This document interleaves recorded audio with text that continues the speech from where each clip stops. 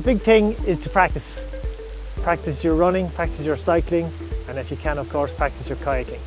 Practicing on terrain and gradients that will mimic what you're doing in your upcoming adventure race is really important.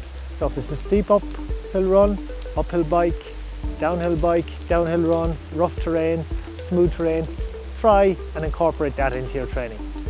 It's also really important to practice transitioning from one phase to another, particularly run to cycle to run. And this is something you can easily do. Go for a run from home, come home, get your bike and go for a, a run then as you come back off the bike. Really important also not to spend too long in between transition phases.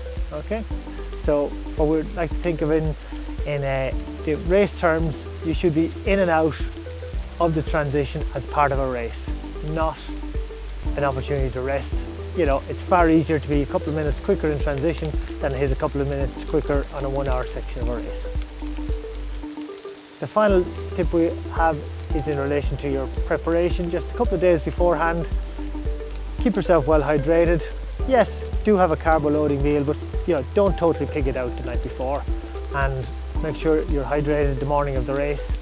Have your breakfast probably three hours beforehand, and then make sure then you know you have you have enough hydration on board to get you started and through the first hour plus of the race.